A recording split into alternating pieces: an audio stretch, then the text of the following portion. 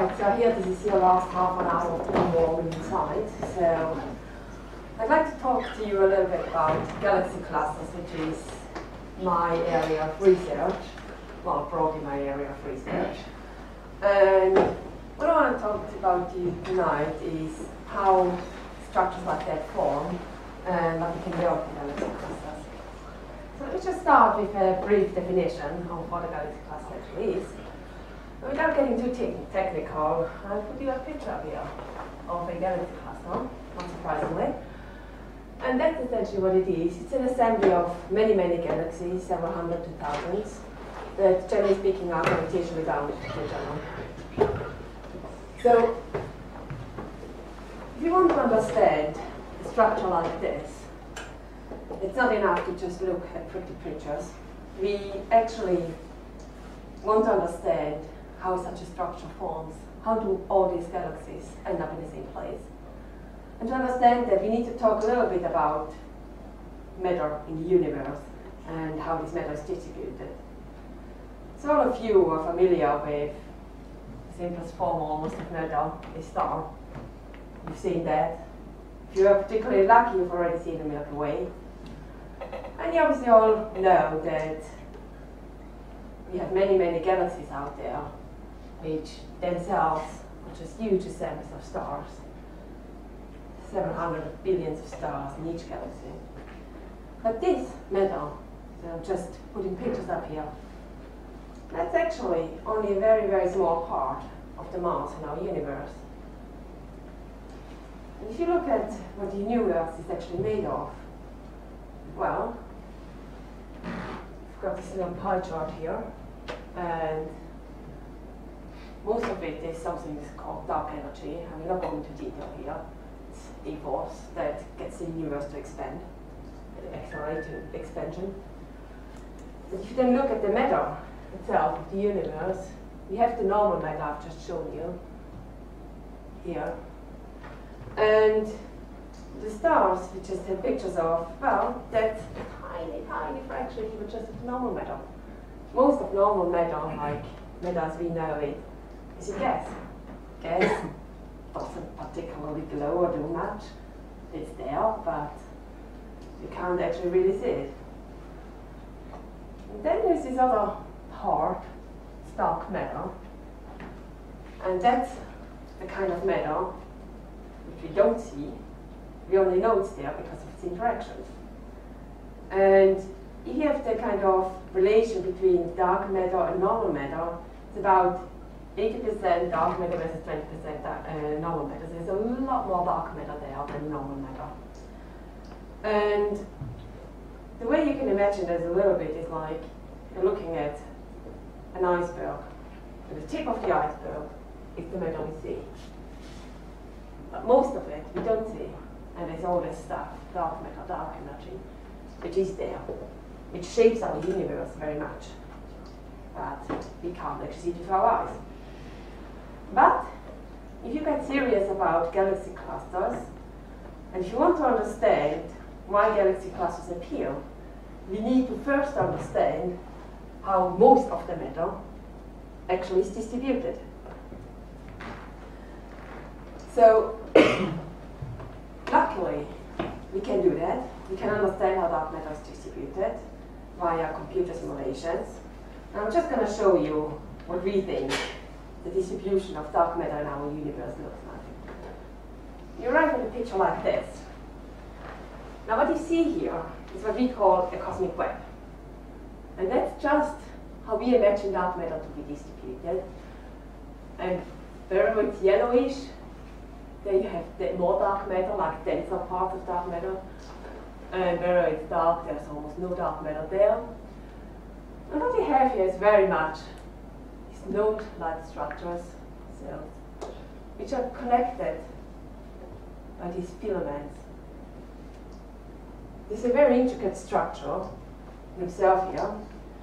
And because there is so much more of this dark matter there than normal matter, actually, it shouldn't be a surprise then that normal matter follows dark matter.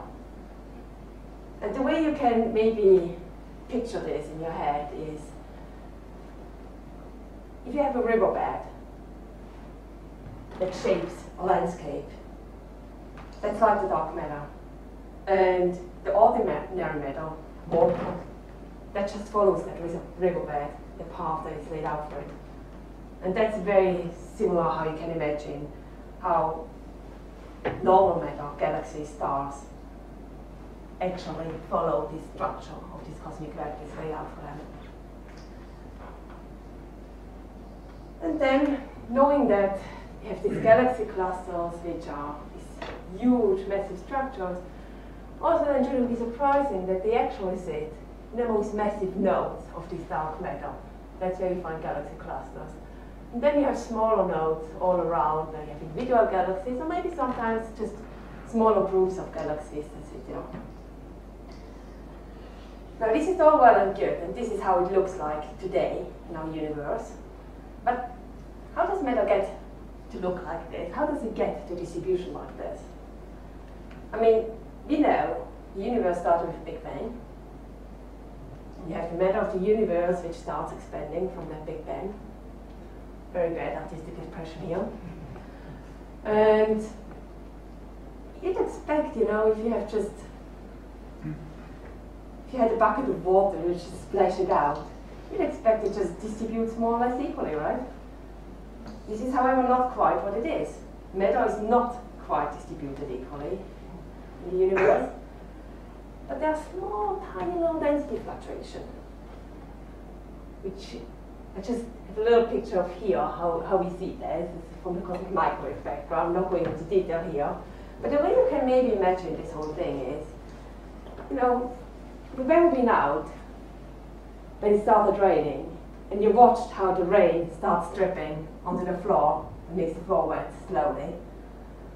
Um, you may see that, you know, there are some patches which get wet a little bit faster than other patches. But just by chance, there are slightly more raindrops here than over there. And that's very much what happened in our universe. At the beginning, after the Big Bang, it just happened that there was little fluctuations, just by chance. Now, the rain, this evens out again, and eventually everything's wet, as you expected. But now, universe, you have this force, gravity. And this changes everything. What gravity does, as soon as it realizes there is a little bit more mass here than over here, this more mass starts pulling at the mass that surrounds it, and it acts to empty out spaces in the universe which are slightly less dense and starts accumulating mass, uh, mass in spaces where there's a little bit more mass already. You can really imagine gravity just grab everything around it and pull it towards it. now, a bit more scientifically, how this looks like. Um, I'm showing you this video, which hopefully you will.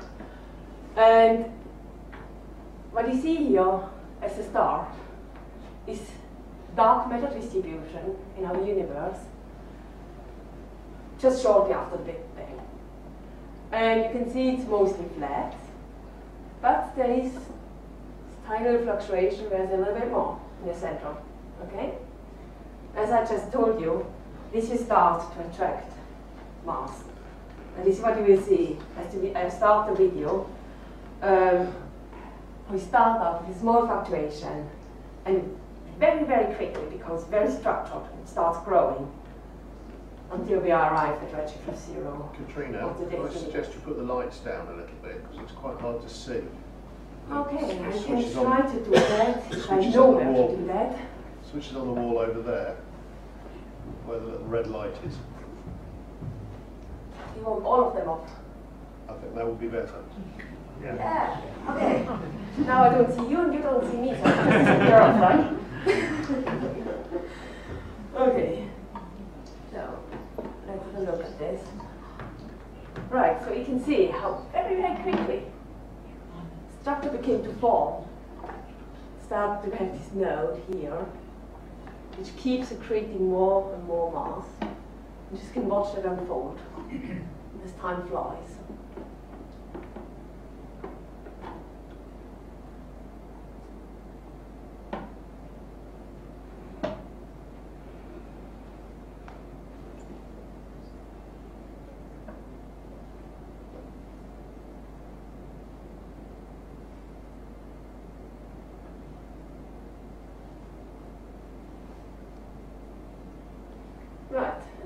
In time.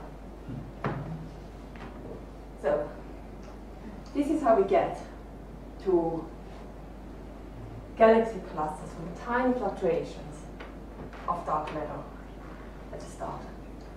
Now, this is all very great, and you may now stand there and wonder, why do we care? I mean, wonderful, we have a bit more galaxy over here than over there, so what? Is that important? Yes, it actually really is. For many reasons. Number one, many, many galaxies today, it actually live in a cluster or galaxy group of some form, including our own galaxy, the Milky Way. And this has huge impact on how galaxies actually evolve. Can you imagine this maybe a little bit like, you know, imagine you grew up in a tiny flat, let's say five siblings, all crammed into one room. Imagine somebody else who grew up on a huge farm, their own room, plus other rooms for themselves. You can imagine that these two personalities will be evolving quite differently, right? And that's what happens to galaxies too. In galaxy clusters, they're all crammed in one location. And that means they're going to evolve very differently from galaxy that's somewhere out in isolation. But also, galaxy clusters actually, because they are this dense environment, great laboratories for physics, particular cosmology, general relativity. I'm just going to show you a couple of examples of what I mean here. The first one is the discovery of dark matter, really. Um, this was first postulated by this fellow here, Fritz Zwicky. Mm. He was a Swiss astronomer and quite a grumpy too. He worked in the US and maybe because he was so far away from all the chocolate, nice chocolate, he didn't like his colleagues very much and he called them spherical bastards. and they were spherical because they're bastards no matter which side you look at them. but apart from that, he was actually also a really good astronomer. And he studied galaxy clusters. And when studying galaxy clusters, he was particularly interested in the motion of the galaxies, the individual galaxies, in this cluster. So he just looked at how fast they move, which direction they move. And what he found was something puzzling. He found that these galaxies actually move too fast to still be gravitationally bound to the cluster. So just to have an analogy here, you know, to be bound to a system like our planets to the solar system, you can't be too fast. If one planet all of a sudden decides to really accelerate, the sun wouldn't have enough power anymore, enough gravity anymore to pull the planet towards it, it would just fly away. And that's what he found for these galaxy clusters, that these galaxies would just disperse if the if the situation is really as it is. So what he thought is, okay, if I look at this galaxy cluster and they're moving so fast, there must be something else there, something that keeps these galaxies together. And this something else, this extra mass that he thought was there, he didn't know what it is, so he called it dark matter. Now obviously these galaxy clusters, that's not the only reason why we these days believe that there is dark matter, but this was the first hint towards it. Nowadays we have many more proofs, so to speak, for its existence. The second thing, no, this has gone, that when we do with galaxy cluster is testing physics. And one example of physics we can test is general relativity.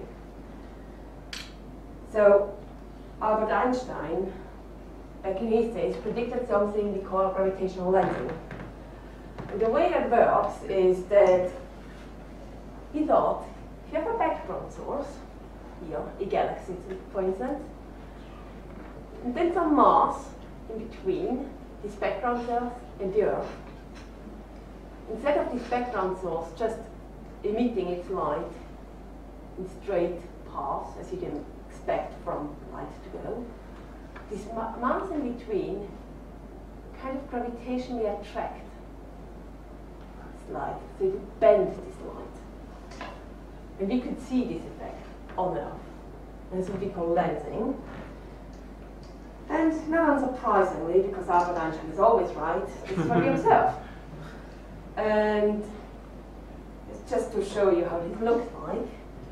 So when you look at images of galaxy clusters, it's these archetype structures, which are actually pictures, images of galaxies behind the galaxy cluster. This is actually not only cool because it proves Einstein to be wrong, uh, right again, but because this effect depends on the mass in between, you can then also get a kind of profile, a model of which mass is there. And once you go at that and you subtract all the mass you see from this model, you know how dark matter is distributed in there. And that's quite a cool application of gravitational lensing too. Right, moving on to something even more important and closer to my heart is, I already hinted at it before, galaxy evolution. Galaxy clusters are very, very important for how galaxies evolve. And to give you an idea of what galaxy clusters do to galaxies, let me start by galaxy properties. The Hubble-tuning fork, which probably a lot of you are very familiar with. Hubble has found, and obviously we confirmed that the galaxies look very different from each other. And we kind of aligned them in this sequence of different galaxies. But it's not just looks. It's not just that this galaxy looks different. They're actually measurably, quantifiably different from each other.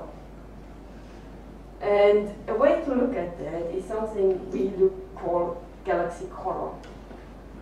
So if you look at the galaxy and we just count the light that comes from this galaxy, some galaxies look more blue than others. And it's really been observed that there's two distinct populations. There's a blue population of galaxies and a red population of galaxies, and not much in between.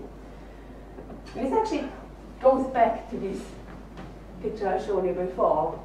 You immediately see that these galaxies here look more blue than these galaxies over here, which look more red, right? So, with this in mind, but think a little bit more about galaxies. I mean, it's not just colors and it looks different. That's still a bit like, okay, whatever. If you really want to measure out galaxies, which properties are important to measure out galaxies? and in extra astrometry, there's two main quantities which we are really interested in. And the first one is what we call a star formation rate. So this just measures for a galaxy how much how fast does it form stars? So basically count each year how many stars have you formed. That's star formation rate. The second thing is the mass of the galaxy. So how many stars are already in this galaxy? And now you can start to tie those two properties to galaxies we observe. And it so happens that actually if you have a blue galaxy, it's star forming, generally speaking. If you have a red galaxy, it usually is not star forming, we call that dead. so we have these two distinct populations, star forming blue galaxies, red galaxies, dead galaxies. Okay? That goes further than that. Second quantity, mass. Now we have found that actually blue galaxies are less massive than red galaxies in general terms. Okay? So while you still forming stars, and that's probably quite intuitive, they generally have less mass than something that already stopped forming stars. So why am I telling you all of this? It's because in clusters, you almost exclusively find this type of galaxies. So red galaxies that don't form stars anymore. Why is that? Why, should a cluster kill the galaxy, so to speak? to understand why this happens is you need to understand a little bit how a galaxy forms stars. I'm just going to go very briefly into this. a galaxy like this. And stars don't just drop out of the heaven and are there. They need fuel to form. And this fuel is gas. So the galaxy has gas. This gas can organize itself in clouds. These clouds can collapse and form nice little stars. And as long as this fuel doesn't run out, the galaxy keeps forming stars. You can imagine it like a reservoir. But eventually, the galaxy may, for some reason, not have uh, gas anymore and for, uh, stop forming stars. Now, when you come to clusters of galaxies, these have not always existed as these huge agglomerations of galaxies as we know. But galaxies, because gravity pulls them towards this cluster, join the cluster gradually. So they kind of what we call fall into a cluster. It's just a gravitational pull. Galaxies fall into a cluster, what happens is they get stripped of its gas. I kind of illustrate, illustrate this here. Galaxies will be pulled into this cluster. It starts losing this kind of gas. It gets pulled towards the cluster and pulled away from the galaxy by the mass of the cluster. So this, you can imagine a cluster really to be kind of this hungry beast eats the gas of the galaxy and takes it away from it. But obviously, as I told you before, when these galaxies run out of gas, it starts dying. It stops forming stars. That's how, with time, as you fall into a cluster, galaxies turn from something like that, something blue and star forming, something like red and not star forming anymore. So really what galaxies do for you, and what galaxy clusters do for you, they turn galaxies dead. Right. And let me stop here and leave some time for questions feedback.